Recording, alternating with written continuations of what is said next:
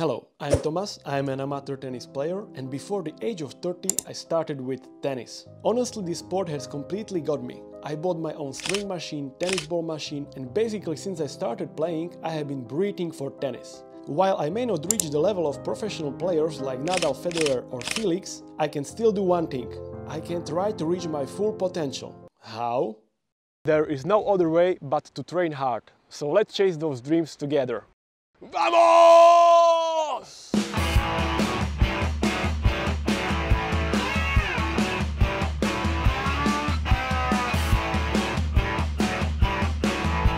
Guys, I have been playing tennis since 2020, but I need to admit one thing.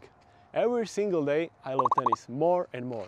I have more motivation to train, to play, to learn about tennis. It may sound crazy, but that's just the way it is.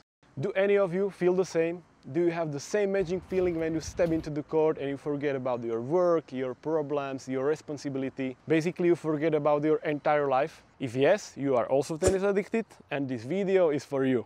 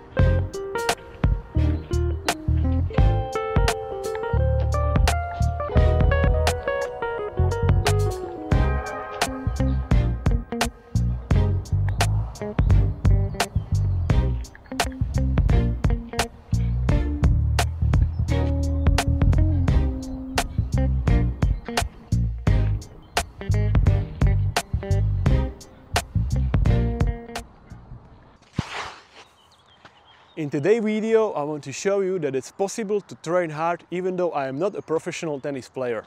A lot of amateur tennis players, including myself, often forgot how important footwork is. Therefore, I have decided to start working also on this aspect to see if focusing on my footwork can improve my tennis. So let's check out my workout routine.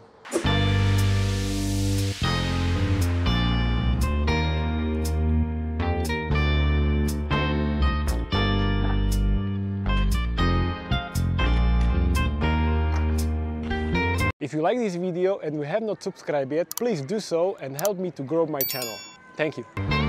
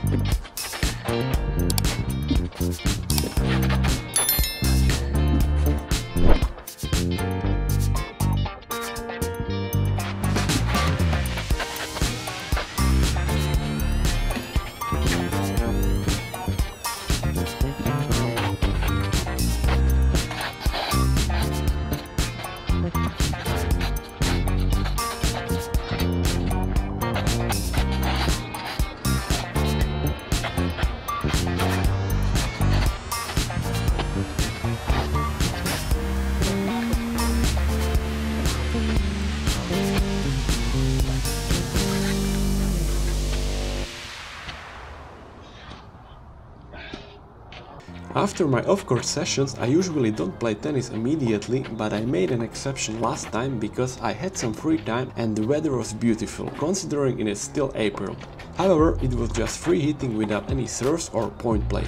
Regarding my off-court training, I want to mention that with the exercises in this video I am aiming to improve my footwork, build stronger legs and use my knees more. I'm curious to see if these off-court exercises can elevate my game. What are your experiences? Do similar off-court exercises help you? If yes, what exactly do you use? Let me know in the comments below please. In this hitting session after the match you can see my current level of technique. I believe it's improving, but I'm convinced that I still haven't reached my full potential and that's what motivates me the most. The question is, where is my top potential?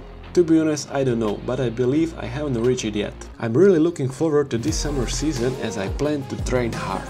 And of course, I will show you more from my tennis journey. Enjoy the rest of the highlights and I'll see you in the next video.